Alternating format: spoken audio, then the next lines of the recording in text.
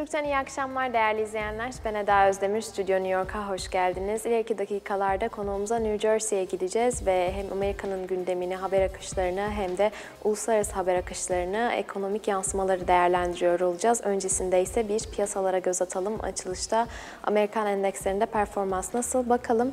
Nasdaq Teknoloji Endeksi negatif ayrışıyor. Şu an gelen verilerde ve aşağı yönlü seyir %0,12 oranında gerçekleşiyor. Seviyenin ise 13.644,63 puanda olduğunu belirtelim. Öte yandan Dow Jones ve S&P taraflarında yukarı yönlü hareketler hakim benzer yüzdelerle diyebiliriz. Dow Jones özelinde 34.655,62 puanı görüyoruz. S&P 500 tarafında ise seviye 4.203,88 puanda. ABD tahvil faizleriyle devam ediyoruz. 10 yıllıklardaki yükseliş eğilimi dikkat çekiyor. %1,63 seviyesine gelmiş durumda ABD 10 yıllık tahvil faizleri ve %3,28'likte bir yükseliş söz konusu. ABD 2 yıllık tahvil faizlerinde de yön yukarıya doğru %5,67'lik bir ivme var ve seviye %0,14'te. Son olarak ABD 30 yıllık tahvil faizlerine bakacak olursak 2,31'lik bir seviye ve %2,43'lükte bir yükseliş hareketi var. Paritelerle devam ediyoruz. Euro dolar tarafı pozitif ayrışıyor. %0,13 ile ve 1,22 seviyesinde parite. Öte yandan dolar endeksinde pound dolar, dolar yen ve dolar İsviçre frangı taraflarında aşağı yönlü hareketler görüyoruz. Dolar endeksindeki düşüş %0,17 ile gerçekleşiyor şu an ve seviyenin 89.70'te olduğunu görüyoruz. Pound'un dolar karşısında bir düşüşü var. Paritede seviye 1.41'de %0,31'lik bir aşağı yönlü hareket görüyoruz. Doların yen ve İsviçre frangı karşısında da aşağı yönlü hareketleri var. Dolar yen tarafında seviye 109.41'de %0,16'lık bir düşüş hareketiyle beraber dolar İsviçre frangında ise seviyenin 0.89'da olduğu gözüküyor. %0,40'lıkta bir düşüş kaydediliyor. Kripto para piyasasıyla devam ediyoruz ve satış dalgası dikkat çekiyor. Bitcoin'de fiyatının 36.284 dolara geldiğini belirtelim. %0,97'lik bir düşüşle beraber en son yaşanan Bitcoin TL tarafında da aşağı yönlü bir seyir var. Fiyatlama 309.071 Türk Lirası olarak çıkıyor karşımıza. %0,57'lik bir aşağı yönlü seyirle beraber. Bir diğer önemli kripto para Ethereum tarafındaki fiyatlama 2564 dolar aşağı yönlü seyir seyirse %2,33 oranında gerçekleşiyor.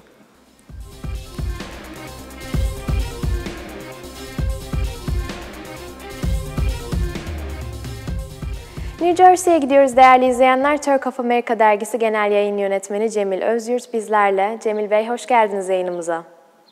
Hoş bulduk Eda Hanım, iyi yayınlar. Teşekkürler, sağ olun.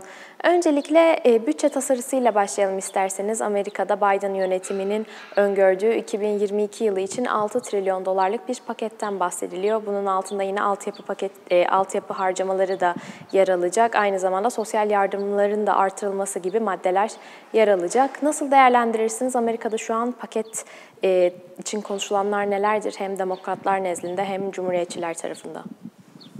Evet açıkçası Biden yönetimi 6 trilyon dolarlık yeni bütçe paketini açıkladığında akla gelen ilk soru e, pandemi dönemiyle birlikte daha önce kongrenin de onaylamış olduğu 6, 6 trilyona yakın bir yardım paketi de söz konusuydu. E, tüm bu art, artan harcama eğilimlerinin enflasyonu artıracağı ve harcama eğilimlerinin bu şekilde devam etmesi durumunda Amerika'nın mutlaka bir enflasyon çıkmazıyla karşı karşıya kalacağı yönünde eleştiriler var. Ancak Biden yönetimi e, bütçeye koyduğu harcamaları 6 trilyon dolarlık e, harcamak yaklaşık bunun 2 milyar dolar kadar da bir bütçe açığı vermesi e, bekleniyor.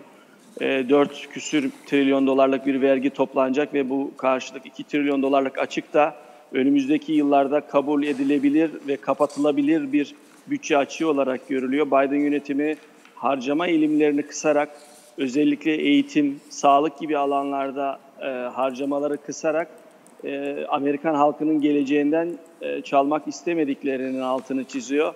Bu anlamda e, demokratlar ağırlıklı olarak orta gelir grubunun özellikle ücretsiz eğitim, sağlık hizmetlerinin genişletilmesi, e, yenilebilir enerji kaynaklarının daha fazla kullanılabilmesi, elektrikli araçların kullanımın yaygınlaştırılması gibi konularda e, bu paketten sağladıkları desteklerle e, önümüzdeki süreçte gelecek nesli daha e, rahat ve müreffeh bir şekilde yetiştirmek arzusundalar. Cumhuriyetçiler de bunun vergi verenlere büyük bir vergi yükü yükleyeceğini, demokratların da ağırlıklı olarak vergi artırımına giderek e, bütçeyi dengelemeye çalışacağından endişe ettikleri için karşı çıkıyorlar. Önümüzdeki günlerde bütçeyle ilgili daha sıkı tartışmalara tanık olacağız.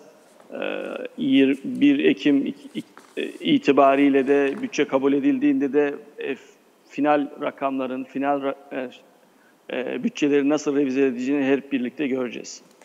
Evet Cemil Bey bir de Teksas'tan gelen gelişmeler var gündemde. Amerika'nın özellikle Teksas'taki demokratlar seçim reformu oylamasını engelledi. Şu anda konuşulanlar nelerdir? Son gelişmeleri sizden alalım. Evet, son seçimden sonra özellikle e, seçim sisteminde değişiklik yapmak için Cumhuriyetçiler ülke genelinde eyaletler bazında, eyaletlerin senatoları ve temsilciler meclisi bazında harekete geçti. 14 Mayıs itibariyle Amerika'nın 14 farklı eyaletinde 22 farklı yasa tasarısını meclislerden geçirdiler. Bu yasa seçim yasasındaki değişiklik ana amacı ne? Ee, Donald Trump'ın son seçimlerde seçimin çalındığı yönünde usulsüzlük yapıldığıyla ilgili ilgili iddiaların ışığında e, sandığa giden seçmenlerin e, işlerini biraz daha zorlaştıracak, cumhuriyetçilerin lehine, e, demokratların aleyhine bir takım e, yasa tasarıları e, gündemde. Bunların arasında erken oy kullanma ile ilgili yapılan ayrıcalıklardan tutun da azınlıkların oy kullanmasına, azınlıkta olan insanların oy kullanmasına imkan tanıyan e, bazı yasaların kısıtlanmasına kadar bir dizi değişiklik içeriyor. Bunu ilk önce biz Florida ve Georgia eyaletlerinde görmüştük. Üçüncü eyalet olarak da Texas e, bu eyalet yasa tasarısında değişik seçim, yasa tasarısında değişiklik yaparak gelecek seçimlerde özellikle önümüzdeki yıl yapılacak kongre ara seçimlerinde e, geçtiğimiz yıl yaşanan e, seçim sıkıntılarının yaşanmamasının e, gayretindeler.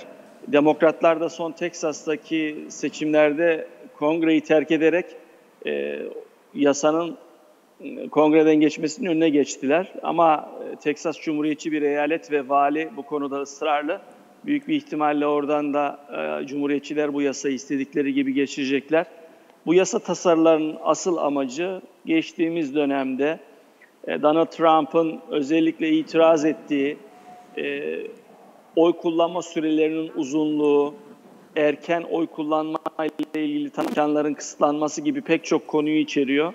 E, onun için önümüzdeki 2022 ara seçimlerinde de bu seçim yasasında yapılan değişikliklerin nasıl sonuçlar vereceğini hep birlikte göreceğiz. Evet, Cemil Bey bir de pandemi çalışmalarına bakacak olursak Amerika'nın hep aşılamadaki başarısını önceki haftalarda süreci önde götürmesini değerlendiriyorduk aslında. Fakat son dönem verilerine baktığımızda Amerika'da aşılama hızının yavaşladığı gözüküyor ve eyaletlerin de e, bunu aşmak için insanlara teşvik sundukları öne çıkıyor belli kampanyalar çerçevesinde. Aşılama çalışmalarını nasıl değerlendirirsiniz mevcut tabloda ve eyaletler bazında da değerlendirecek olursanız? Ee, şu anda Amerika'nın yetişkinlerin %51'i aşı olmuş durumda. Biden yönetimi 4 Temmuz'a kadar 160 milyon kişiyi aşılanmayı hedefliyordu. Bu rakam şu anda 130 milyon civarında. E, aşılamada çok ciddi bir düşüş göze çarpıyor. Özellikle eyaletler biraz önce senin de bahsettiğin gibi halkı aşılamaya teşvik etmek için e, değişik piyangolar, nakit e, yardımlar, e, hatta bazı eyaletlerde Uber ve Lyft gibi şirketler aşı merkezlerine ücretsiz taşıma yaparak halkı teşvik etmeye çalışıyor. Özellikle e, Moderna'nın ve Pfizer'ın yaş grupları 12 ve 14 yaş e, aralığına da e, aşı uygulamaya başlaması aşı olan nüfusu daha da genişletecek. Ancak aşıdaki istenen ivme geçtiğimiz aylara göre biraz düşmüş durumda. Şu anda Vermont eyaleti Amerika'da en fazla aşılamanın gerçekleştirildiği eyalet olarak hı hı. başı çekiyor. Yaklaşık nüfusun %74'ünü aşılamayı başardılar. E, buna karşılık Deep South dediğimiz Mississippi'de bu oran %34'lerde. E, eyaletler arasında çok büyük farklılıklar var. Onun için Ohio gibi eyaletlerde e, lot, loto yoluyla yani piyango yoluyla aşı olanlar arasından yapılan çekilişle her hafta bir kişiye 1 milyon dolar verilmesi duyurulmuştu. Bu devam ediyor. E, bazı eyaletlerde aşı olanlara 100 dolar nakit yardım yapılması e, gündem alınmıştı. New York eyaleti her aşı olana bir bira ısmarlayacağını duyurdu. New Jersey eyaleti pardon. E, her eyaletin kendi vatandaşlarına aşı olmaya teşvik etmek için değişik kampanyaları var. Dünyanın geri kalan kısmı aşıya ulaşmak için büyük zorluklar yaşarken e, Amerikan halkının aşı olmada göstermiş olduğu bu isteksizlik hı hı. E, bir anlamda umursamazlık, bir şımarıklığın göstergesi de olabilir. E, ama 4 Temmuz itibariyle 160 milyon rakamına e, Biden yönetimi ulaşacak gibi görünüyor. Evet Cemil Bey bir de Amerika'daki silahlı saldırılar dikkat çekiyor. En son Florida'da gerçekleşen bir saldırı var ve iki kişinin yaşamını yitirdiği, 20 kişinin de en az yaralandığı bilgisi yer alıyor. Devletin aldığı tedbirler nelerdir? Bu silahlı saldırıları aslında Amerika'da duyuyoruz belli aralıklarla. Ekstra alınan yeni tedbirler var mıdır? Konuşulanlar nelerdir? Eda açıkçası dünya gündemine yansıyan silahlı saldırılar ancak ölü sayısı 5'ten fazla olursa gündeme geliyor ama Ocak 2021 tarihinden bu tarafa Amerika'da 200'den fazla silahlı saldırı gerçekleştirildi. En son San, San, San Jose'de yaklaşık 9 kişinin öldürüldüğü daha geçtiğimiz hafta gerçekleşen silahlı saldırının ardından Florida'da bu kez bir başka saldırı gündeme düştü. Silahla ilgili mücadelede Biden yönetimi e, ilk geldiği günden beri bir takım yeni uygulamaları e, hayata geçirmek için çaba harcadı. Ancak Cumhuriyetçilerin bu konudaki isteksizliği hı hı. E, ve ayak diremesi olumlu bir sonuç alma yolunda e, hızlı adım atmalarını engelledi. E, Biden yönetiminin de önümüzdeki dönemde 4 yıllık süreçte en çok başını ağrıtacak konulardan birisi silahsızlanma ve bu silahlı saldırıların nasıl önünün, önünün kesileceği ile ilgili. Silah lobisi çok güçlü olduğu için her ne kadar ölü sayısı, günlük haberlere düşen ölü sayısı ürpertici rakamlara ulaşmış olsa da e, kongre bazında çok hızlı bir e, ilerleme söz konusu değil açıkçası. Bir de yine kongreye işaret etmişken siz 6 Ocak kongre baskını için oluşturulması planlanan komisyon senatodan red aldı. Bunu nasıl değerlendirirsiniz o taraftaki çalışmalar ve bu redin getirdiği yankılar açısından bakacak olursanız? Özellikle Cumhuriyetçiler bu senatodaki komisyonun kurulmasına karşı çıktı. Oylama, Cuma günü yapılan oylamada da 54'e 35 gibi bir oy oranıyla e, Cumhuriyetçiler istediklerini aldılar. 60 rakamını bulamadı. Senatodaki 3'te 2, 3'te 2 çoğunluk olan 60 senatör rakamına ulaşamadı. Ee, ama Cumhuriyetçilerden de 6 tane senatör bu komisyonun kurulmasına destek vermişti. Ee, komisyonun kurulmasına Cumhuriyetçiler karşıydı çünkü 6 e, Ocak olaylarının detaylı bir şekilde komisyon bazında gündeme getirilmesi 2022'deki ara seçimlerde partiye büyük zarar verebilir, e, parti politikalarını ve yöneticilerini sıkıntıya sokabilirdi. Donald Trump'ın da tanık olarak dinlenmesi gibi bir durum söz konusu olabilirdi ki bu cumhuriyetçilerin kamuoyunun nezdinde prestijlerinin biraz daha sarsılmasına neden olacak bir süreçti.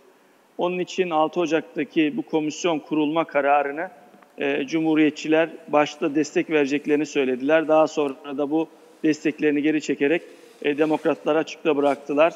E, buna benzer bir komisyon 11 Eylül sonrası da kurulmuştu. 11 Eylül 2001 terör saldırıları sonrasında da kurulmuştu.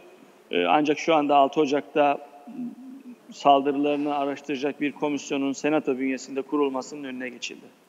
Cemil Bey, uluslararası ilişkilerle devam edecek olursak önümüzdeki günlerde küresel çapta büyük önem arz edecek e, zirveler gerçekleştirilecek. NATO Liderler Zirvesi 14 Haziran'da Brüksel'de gerçekleştirilecek. Akabinde 15 Haziran'da ABD Avrupa Birliği masaya oturacak ve sonrasında ise ABD Başkanı Joe Biden ve Rusya Devlet Başkanı Putin bir araya gelecekler ve bu Putin-Biden görüşmesinden önce ABD-Avrupa Birliği görüşmesinin oluşu aslında tarihlerde kritik oradaki e, Rusya ile ortak Rusya'ya karşı ortak bir strateji geliştirme eğilimi ve e, ortak hareket etme eğilimi dikkat çekebilir.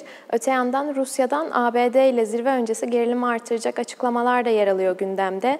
E, Rusya Dışişleri Bakanı Yardımcısı Sergey Rabkov'un ve Amerikalılar Moskova'dan gelecek birkaç sinyalin kendileri için rahatsız edici olacağını varsaymalıdır şeklindeki açıklama dikkat çekti. Bugünlere de yaklaşılırken e, Rusya tarafına ilk olarak odaklanacak olursak nasıl değerlendirirsiniz bu açıklamayı ve mevcut Amerikan-Rusya e, Amerika-Rusya ilişkilerine neleri öne çıkarırsınız? Ee, Eda Biden Putin görüşmesinden e, her iki tarafta karşılıklı birbirlerini çok şaşırtacak derecede bir politik e, manevra ya da değişiklikle gündeme gelmek istemiyorlar. Onun için mevcut durumu, kriz yüklü durumu da bir şekilde sürdürülebilir bir şekilde e, devam ettirme niyetindeler. Amerika tarafının bakış açısı öngörülebilir e, bir ilişki zemininde devam etmek. Yani karşı tarafı şoka ya da hüsrana uğratacak bir şekilde bir yaklaşımla bu görüşmeye e, katılmayı düşünmüyorlar. Zaten Biden yönetimi Mart ayında yapmış olduğu açıklamada Putin'i katil e, katil olarak ifade etmiş ve bu büyük bir krize neden olmuştu. E, son olarak da yine e, sen siz de gündemden takip ettiğiniz üzere e, Rusya destekli hackerların e, Microsoft üzerinden Amerikan e, insan hakları kurum ve kuruluşlarına saldırması iki ülke arasındaki bu siber saldırıların dozunun her geçen gün daha da arttığı ve Cenevre'deki görüşme öncesinde de bu saldırıların e, yapılacak görüşmelerin ana maddesinden biri olacağını e, söylemek mümkün. Çünkü geçtiğimiz yıl SolarWind'de yapılan yani SolarWind şirketine gerçekleştirilen siber saldırıda Amerika'nın pek çok büyük şirketi Rusya tarafından hacklenmişti. Onun devamında bu siber saldırıların devam ed- etmemesi gerektiği yönünde pek çok açıklama yaptı Biden yönetimi. Hatta bunu açık şekilde e, göreve geldikten sonra dile de getirdiler. Ancak Rusya tarafında e, Amerika'ya karşı düzenlenen, devlet destekli düzenlenen siber saldırıların son bulması e, gibi bir şey söz konusu olmadığı gibi e, şiddeti de artarak devam ediyor. En son e, insan hakları örgütlerine gerçekleştirilen e, sibel saldırıda pek çok ve kurum ve kuruluş etki altında kaldı. Daha önce de Amerika'nın 500 büyük e, şirketi Rusya saldırısı karşısında e, bilgileri hacklenmiş ve e, Rusya bu siber saldırıda Amerika'ya karşı üstünlüğünü bir kez daha perçinlemişti. E, önümüz bu, bu ay içerisinde Putin ve Biden'ın ilk kez yüz yüze geleceği e, toplantıda da önemli gündem maddelerinden birisinin bu siber saldırılar olacağını söylememiz mümkün. Cemil Bey bir de Türkiye özelinden Amerika-Türkiye ilişkilerine bakacak olursak orada da yoğun e, dinamikler hakim. ABD Dışişleri Bakan Yardımcısı Sherman e, bir Türkiye ziyareti gerçekleştirmişti ve aynı şekilde Cumhurbaşkanı Recep Tayyip Erdoğan Amerika'da e, önemli şirket yöneticileriyle video konferans üstünden bir araya gelmişti ve burada Amerika tarafı da Türkiye'nin tedarik zincirlerinde önemli bir yere sahip olduğunun ve Türkiye'de e, ekonomik faaliyetlerin önemli bir potansiyeli olduğunun altını çizmişler ülkelerde. İlişkilerin son dönem e, dinamiklerine baktığınızda siz neler söylersiniz? NATO Liderler Zirvesi'nde de Cumhurbaşkanı Recep Tayyip Erdoğan ve ABD Başkanı Joe Biden'ın bir araya gelmesi bekleniyor. Yön değiştirici bir e, sonuç çıkabilir mi o görüşmeden? Nasıl ele alırsınız? E, Eda Bakan Yardımcısı Sherman'ın Ankara ziyaretinde de zaten çok büyük bir beklenti yoktu. Açıkçası Amerika'nın Türkiye politikalarına temkinli yaklaştığını söylememiz mümkün. Ee, Amerika ile Türkiye arasında ortak mutabık olunan birkaç konu var. Afganistan'daki e, askeri durum, NATO'daki Türkiye-Amerika müttefikliği gibi konular. Onun dışında anlaşmazlık pek çok madde var. PYD, PKK'ya yapılan yardımların devam etmesi, 2022 bütçesinde de yine e, PYD ve PKK'ya yardım yapacağını açıkça Biden yönetimi ilan etti. F-35 programından çıkartıldı. Türkiye yaklaşık yıllık 12 milyar dolarlık bir kayba uğradı. E, bunun yanı sıra e, Amerika-Türkiye arasında S-400 kriziyle yaşanan ve Rusya'dan alınan S-400 füzelerinin geri verilme şartıyla ilişkileri yeniden düzene koyacağı şeklinde Amerika tarafının yaptığı yaptırım Türkiye tarafında karşılık bulmadı. Açıkçası Biden Cumhurbaşkanı Erdoğan görüşmesinden de e, çok e, kısa vadede olumlu bir sonuç çıkıp ilişkilerin hemen rayına gireceğini beklemek doğru olmaz. Çünkü Türkiye e, Amerika ile olan ilişkilerinde genelde Trump döneminde başkanlar seviyesinde ilişkiyi daha çok kontrol altında tutmayı tercih etmişti. E, kongre kanadında özellikle Senato ve Temsilciler Meclisi'nde yeterli desteği olmadığı için Başkan Trump'ın Türkiye'ye vermiş olduğu destek önemliydi. Ancak e, bu, bu yeni dönemde bu da, bu da mümkün görünmüyor. Onun için e, her ne kadar ikili görüşmelerde e, diplomatik e, temayüller gereği birbirlerine karşı e, ilişkilerden nezaketen e, e, görüşmeleri devam ettirecek olsalar da e, nihayetinde iki ülke arasındaki derin uçurumlar, derin ayrılıklar hemen bir görüşmeyle giderilecek gibi değil. E, NATO zirvesi mutlaka önemli. Biden ve e, Cumhurbaşkanı Erdoğan'ın görüşmesi önemli. Ancak ilişkilerin hemen rayına girmesi noktasında da bir beklentiye girmemek lazım. Teşekkür ediyoruz katılımınız ve değerlendirmeleriniz için. Ben teşekkür ediyorum. İyi yayınlar diliyorum. Teşekkürler. Haberimizle devam ediyoruz değerli izleyenler. İtalya Merkez Bankası Başkanı ve ECB üyesi Ignazio Visco, Avrupa enflasyonuna ilişkin değerlendirmelerde bulundu. Visco, enflasyonda enerji ve tek seferlik faktörlerin etkisi var dedi. Avrupa Merkez Bankası üyesi ve İtalya Merkez Bankası Başkanı Ignazio Visco, Euro bölgesi enflasyonuna ilişkin değerlendirmelerde bulundu. Visco, yükselişi enerji ve tek seferlik faktörlere bağladı. Visco, ECB'nin 10 Haziran'da yapılacak yönetim konseyi toplantısında en çok fiyatlardaki artışın ne kadar güçlü olduğunu ve enflasyon bekleyişlerini değerlendireceğini vurguladı. Visco ayrıca ECB'nin bankaların sağlığına ilişkin yaptığı stres testlerinin sonuçlarının bu yaz yayınlanacağına işaret etti ve sonuçların herhangi bir sürprizle karşı karşıya kalmak istemeyen bankalar için güçlü bir uyarı işareti olacağını belirtti. İtalya Merkez Bankası Başkanı tüm bu konulara ek olarak eğer stres testleri bize hala hazırda bilmediğimiz bir şeyi söylerse bu sürpriz olur değerlendirmesinde bulundu.